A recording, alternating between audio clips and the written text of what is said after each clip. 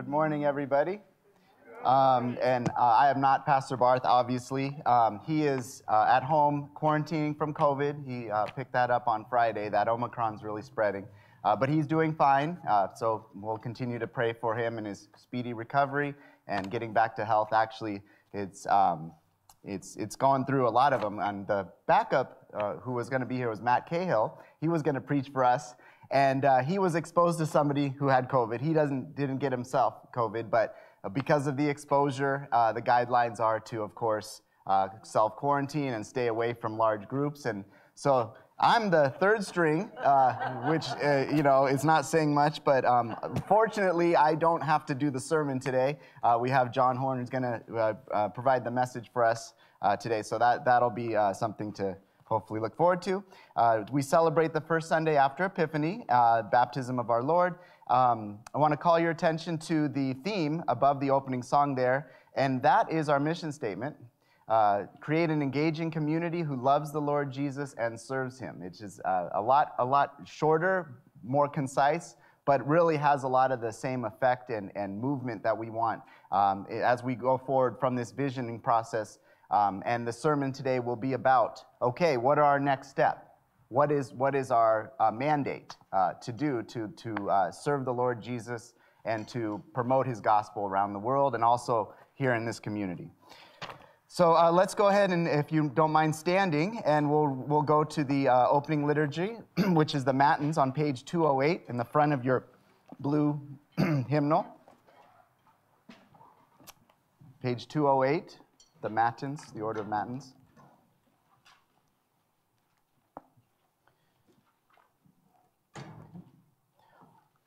O Lord, open my lips.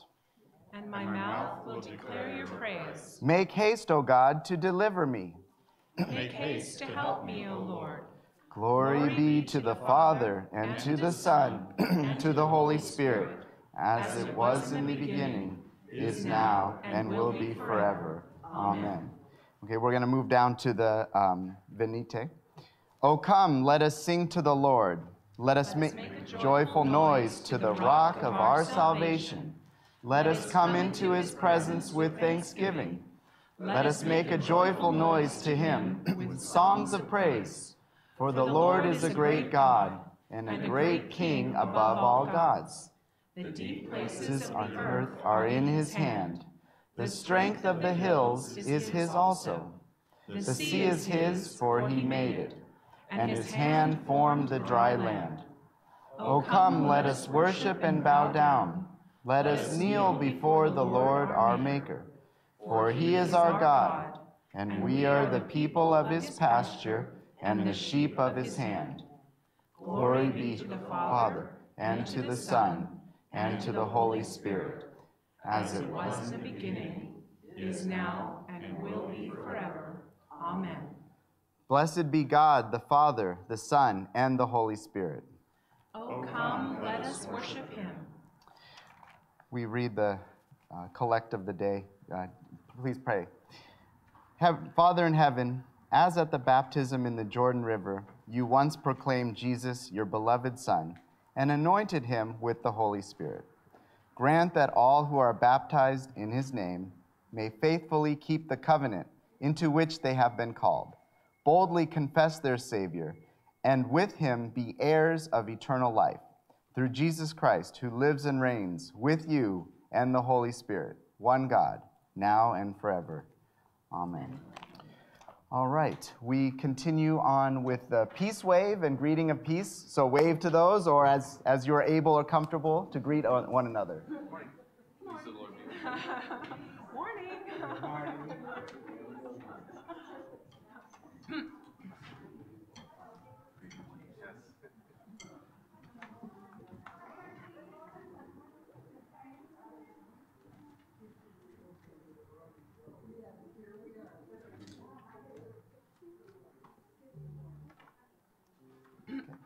We sing the song Brothers and Sisters in Christ.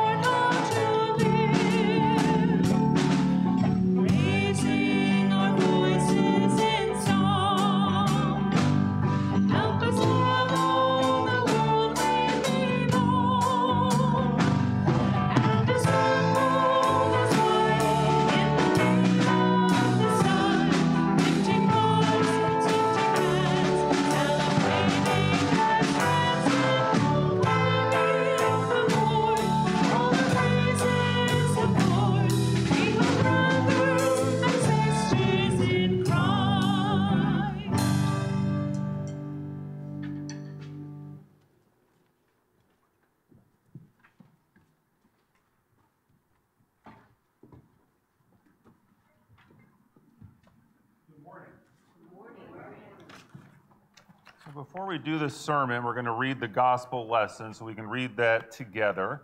So if you would turn to page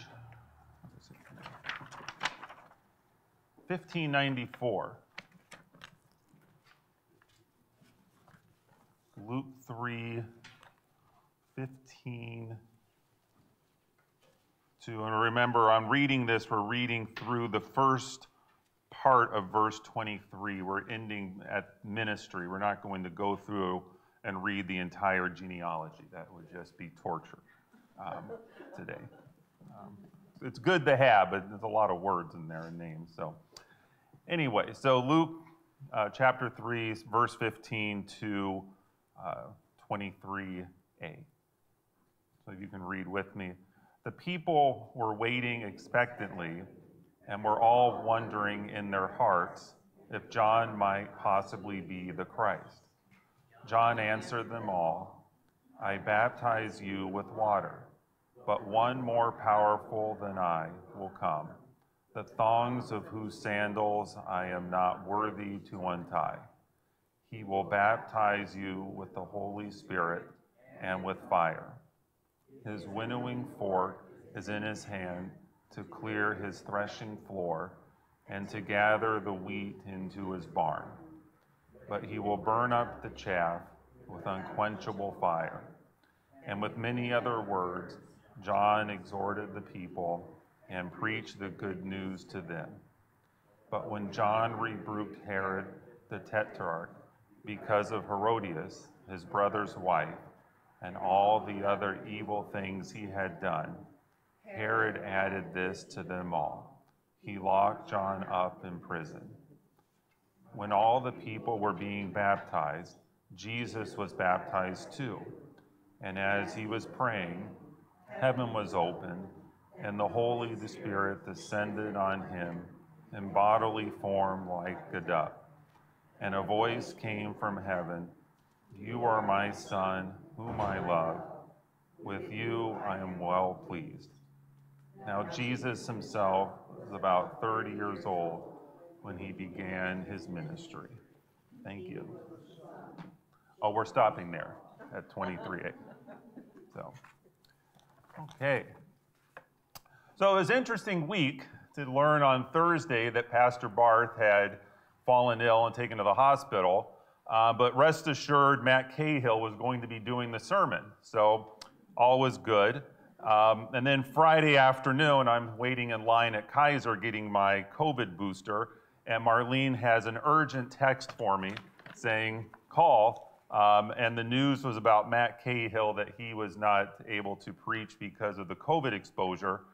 And she said, I'm checking with Bart. He's trying to find, Pastor Bart Lowe's trying to find someone to preach. Um, but I will call you at 8 o'clock if can't find anyone. So 8 o'clock comes, and there's the call that no, Bart was unable or had not gotten back. Um, so turns out that my dad did the service this morning and the sermon, and I'm doing it today. But the good thing is that Pastor Barth had written the sermon or he had written half of the sermon. so when I came down yesterday to see Marlene, um, she gave me pastor's half written notes or half typed out sermon um, and his notes, which, if you know pastors, they have very unique ways of doing sermons, and pastors is no different. And trying to decipher everything was a lot of fun. Fortunately, this was a topic that I've been spending um, pretty much the last year on in terms of the vision. So it wasn't like we were doing, as John said earlier to me, it wasn't like this was a sermon on Revelation or something. So um, quite good. So, yes, today we are going to be continuing our month of blessing, and today we focus on the mission statement or mission mandate. Uh, the vision is surrounded and developed from the four sides of the window frame, and I don't know if all of you know that, but there is a frame that we looked at as we were going through this process. And on one side of the frame, you have the mission statement. You have on the other the values, which we're going to be learning about next week, uh, the measures by which we gauge the vision, and finally, our strategy. So before we get into the sermon, I just want to say that we are blessed to have gone through this process, and it was. Uh, you know, encouraging that the congregation, uh, you know, back in December of 2020, made a unanimous vote to go through the process of identifying a vision for the church. And it's nice to have this because as we enter 2022 and as we enter the next decade of our Redeemer Lutheran Church, we actually have a guiding process as to where we're going to go. We're not just here kind of haphazardly going through things, but we actually have a guiding process. And today's message is to break down this mission statement, the parts of it, and what does it actually mean? What are we actually saying we are going to be doing as a church? So, the first part of this is what is and why do we need a mission statement? You know, most places have mission statements, but why does a church need one? Well, a mission statement or a mandate is to be a clear and concise statement that defines what we as the church of Jesus Christ is ultimately to be doing. It is question zero what are we doing? It points us true north, it guides the mission, it becomes the heartbeat of the church. It is the guiding compass, the ultimate direction which points us forward. And we can see an example of this in the mission that God gave to Moses. At the burning bush, we see God giving Moses a mission. God wants Moses to be his point leader in the deliverance of the children of Israel from Egypt to the land of promise. Moses, in essence, receives a compass. Look at what God had in store for the Israelites. And we read from Deuteronomy 8 7 to 10. For the Lord your God is bringing you into a good land, a land with brooks, streams, and deep springs gushing out into the valleys and hills, a land with wheat and barley, vines and fig trees, pomegranates, olive oil, and honey a land where bread will not be scarce and you lack nothing, a land where the rocks are iron and you can dig copper out of the hills. When you have eaten and are satisfied, praise the Lord your God for the good land he has given you. And here we see that God himself provided living language that illustrated and anticipated his better future for Israel. God not only gave Moses a compass, but a travel brochure as well. And this is what a mission statement provides it is a golden thread that weaves through every activity we do in mission work as a church. It is a leadership statement that directs and integrates all of our thinking, speaking, and doing. It is a leadership statement and not a marketing statement. It is a statement of who we are. It defines our direction. It directs our energy and integrates our activities into one simple statement to create an engaging community that loves the Lord Jesus and serves Him. So, in this sermon, we're going to be breaking down the three parts of the mission statement, starting with create an engaging community. So, what does that mean when we talk about create an engaging community? Well, this is one of the first exercises that we went through as a vision team this was back probably in, we started in March, so this is probably April. Um, the team is divided into two groups to work on the mission statement.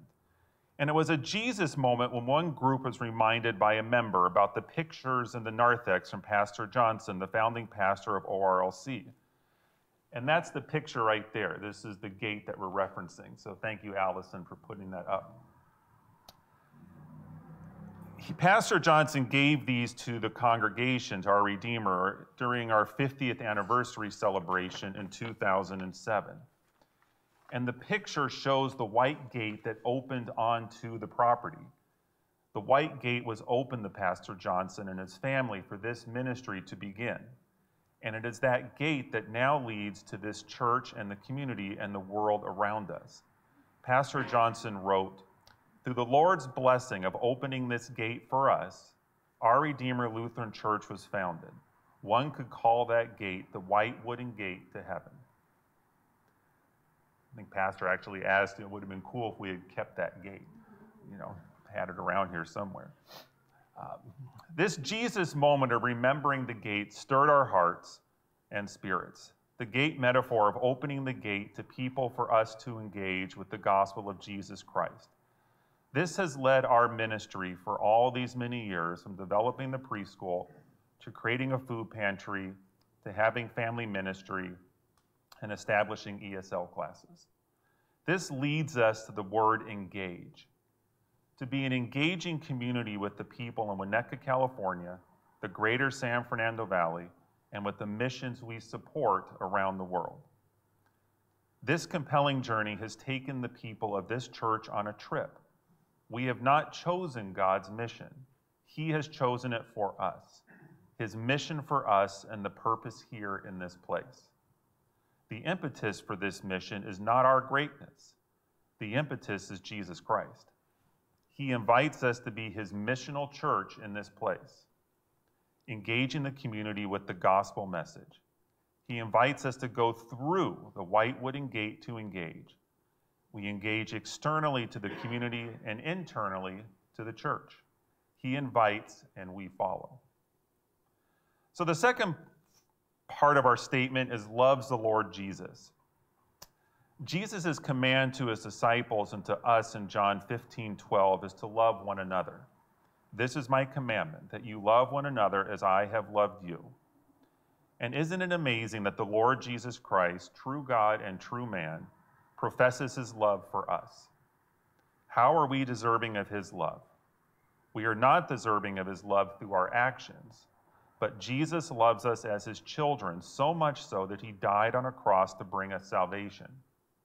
For God so loved the world that he gave his one and only Son, that whoever believes in him shall not perish but have eternal life. John 3:16. Our love for the Lord Jesus Christ comes from what he did for us. Away in the manger has the beautiful profession of this love we have to have for Jesus. I love thee, Lord Jesus, look down from the sky and stay by my cradle till morning is nigh. Our love for Jesus is the driver of everything that we do, everything that we do in this church. We love Jesus for loving us. We love Jesus for the sacrifice he endured for us.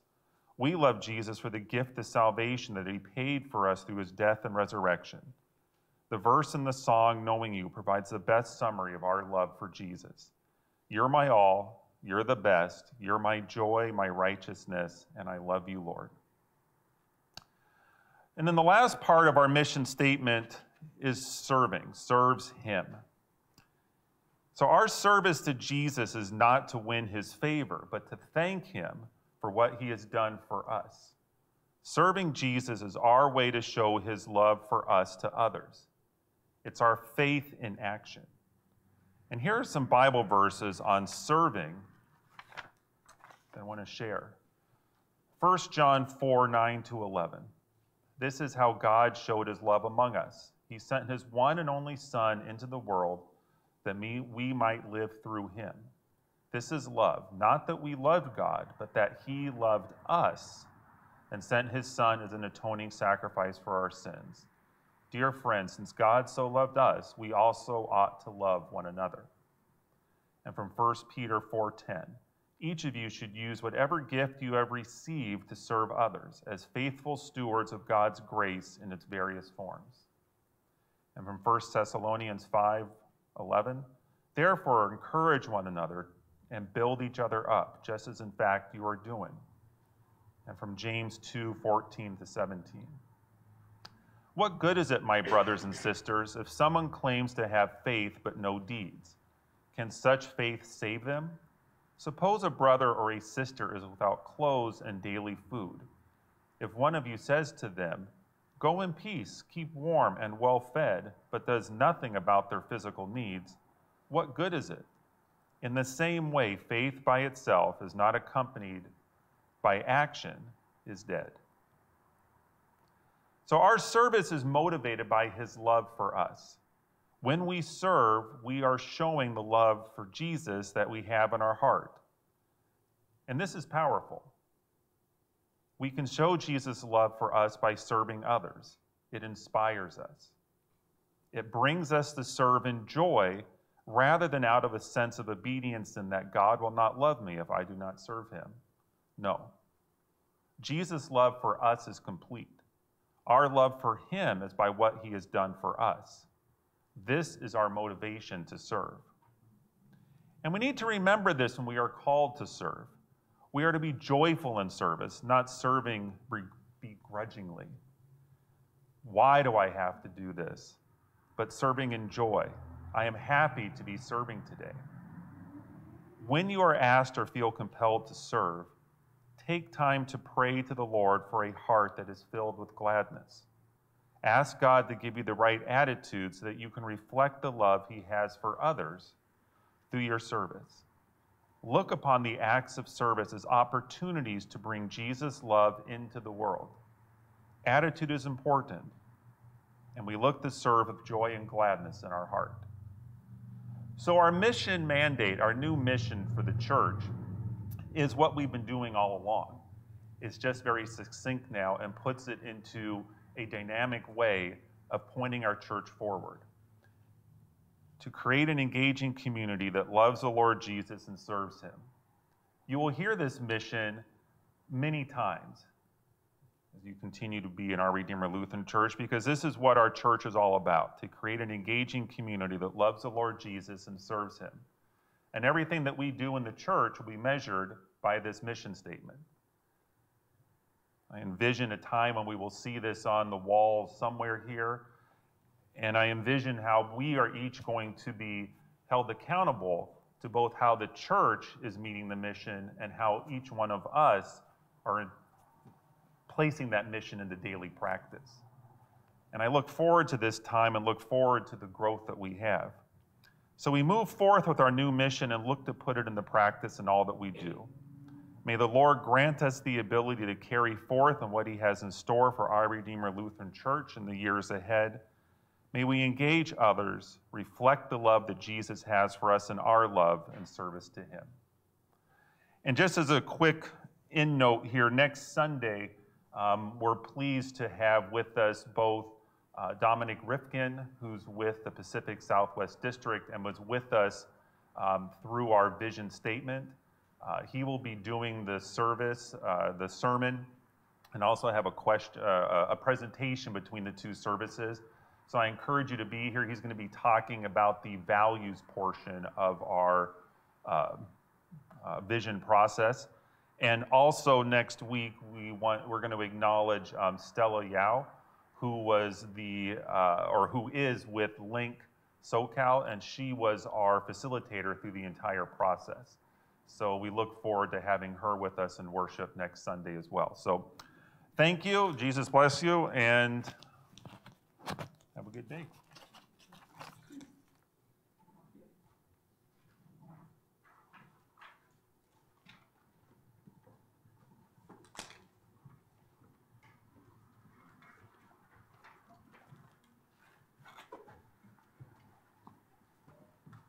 Thank you, John, for uh, that wonderful message and really inspiring. Um, we uh, continue with our offering of our tithes and gifts to the Lord Jesus.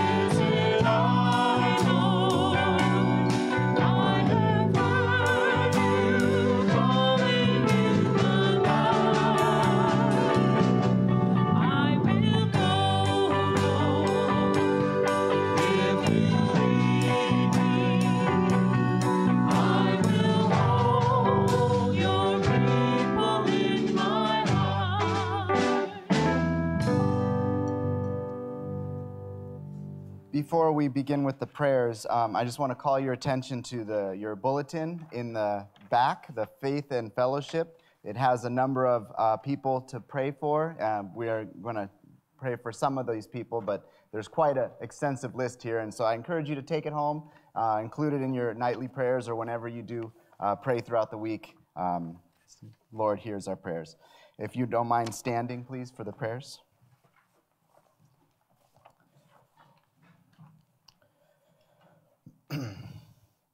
Dear gracious Heavenly Father, we come to you this morning, and, and first of all, we want to praise you. We uh, have so much to be thankful for, so much to uh, appreciate in our lives the beautiful weather, um, our health, our happiness, the, all the joys that we get from family, from friends. Lord God, we just want to always remember how blessed we are living in this country and how blessed we are to be a part of, of your holy body of believers. This week, uh, we want to raise up Pastor Barth as he uh, quarantines from COVID. Lord, continue to help him heal, recover well, and bring him back to health, uh, 100% health in the near future. Lord, we also want to pray uh, for uh, the Wenzel family, specifically for Steve Wenzel as he was admitted to Northridge Hospital um, for some various health issues. Lord, we want uh, to, to keep him in your loving arms. Lord, in your mercy. Hear our prayers. We also want to raise up to you um, David uh, Schwebs, who's um, had a surgery. He's in Wisconsin, and we want to pray for uh, his healing. He is the father of Barry Schweb, who attends this service. Lord, we also want to pray uh, a, a prayer of uh, healing and peace to all those who we will be praying for throughout the week, those who have health concerns with flus, colds, with COVID, with other, with other concerns. Lord, we, you are the great healer, and we know we can trust in you to have our best interests at heart and to do what is right in your, according to your will in our lives. Lord, in your mercy, Hear our prayers. Lord, uh, lastly, we want to raise up this congregation and the vision uh, process. Lord, thank you for the leadership team, the vision team who has committed countless hours to uh, developing a mission for this congregation, Lord. It's up to us to enact it and to enable it. Um, as you say, as you call us, let us listen to that call and heed the call. May we rejoice and, and accept the callings of volunteer work and other such work with, with joy and gladness in our hearts as we get to share your presence, your peace, and just Jesus with others around in our community and throughout the world. Lord, we pray this uh, that you would continue to bless this congregation as we go forward, uh, continue to bless the leadership, pastors, lay leadership, and volunteers who will be enacting these, these uh, processes in, in the future. Lord, in your mercy. Uh, if you don't mind, let's turn to the responsive prayer on page 270 in the front of your hymnal, and we'll continue on with prayers. Page 270.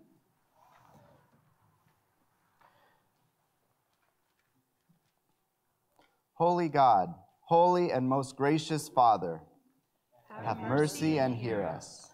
Our Father, who art in heaven, hallowed be thy name.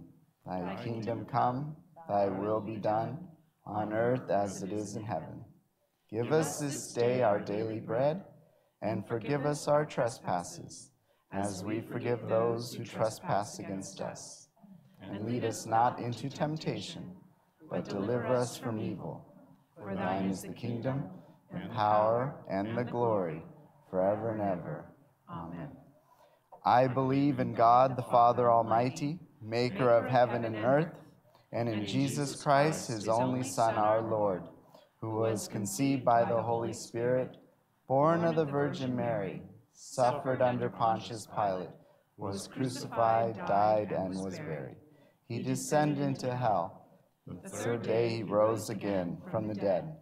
He ascended into heaven and sits at the right hand of God the Father Almighty. From thence he will come to judge the living and the dead. I believe in the Holy Spirit, the holy Christian church, the communion of saints, the forgiveness of sins, the resurrection of the body, and the life. everlasting. Amen. I cry to you for help, O Lord. In the morning, my prayer comes before you, Restore to me the joy of your salvation. And grant me a willing spirit to sustain me, My mouth is filled with your praise. declaring your splendor all day long, Every day I will praise you. and extol your name forever and ever. You answer us with awesome deeds of righteousness. O God, our Savior, the hope of all the ends of the earth and of the farthest seas, Praise the Lord, O my soul. all my inmost being, praise his holy name, He redeems my life from the grave. and crowns me with love and compassion. Lord, hear my prayer. And let my cry come before you, And the Lord be with you. and also with you. Okay, we're going to turn the page, please. Top of 272. We give thanks to you, Heavenly Father, through Jesus Christ, your dear Son, that you have protected us through the night from all danger and harm. We ask you to preserve and keep us this day also from all sin and evil, that in all our thoughts, words, and deeds we may serve and please you. Into your hands we commend our bodies and souls, all that is ours. Let your holy angels have charge of us, that the wicked one have no power over us. Amen. Let us bless the Lord. Thanks be to God. The Lord Almighty order our days and our deeds in this peace. Amen. All right. Before we uh, sing the closing hymn, we have a few announcements that I need to look at my notes here. Um, let's see. I think John already mentioned the main one next week. We'll have Pastor Dominic Rivkin, um, who is uh, Pacific Southwest District um, pastor, and he will uh, present on our vision. And also, there'll be a presentation. So I want to encourage you to the 11 o'clock folks to come early, come about 9:40 uh, to come for that presentation and hear about what's going on in the church and where where we're heading. What are we doing next? You know, now that we have this awesome mission statement.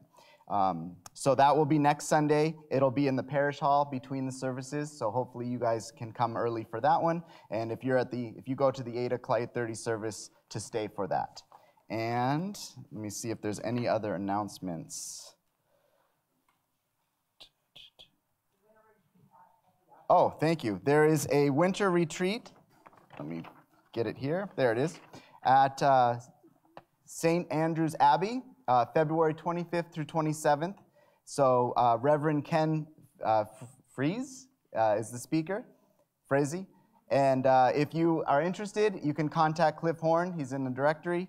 Um, if you have any uh, questions um, or would like to register, and the, there's a number there as well to look up more information. And I think that's it. Okay, we'll sing the closing song. Lift high the cross.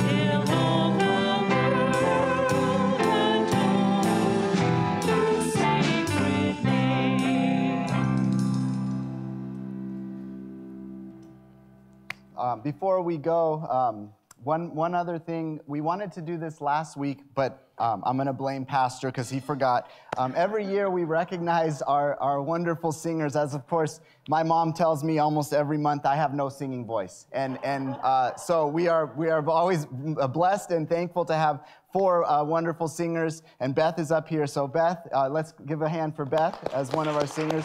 They, volunteer. So, this is for you. Enjoy. You can get something Santa didn't get you. Um, and then I have uh, Jackie, Larry, and Lima Horn also. They, they're usually the ones up in front leading us in, in song, and that's it's a wonderful thing to have. And we appreciate their volunteers throughout the whole year to do that. And of course, we also thank the band, but they're paid. So it's okay. No, it's okay. Thank you. man. Okay. All right. Um, so that's it. Uh, and as, as Pastor says at the end of each service, what does he say? Um, have a good week, and Jesus bless you. Amen.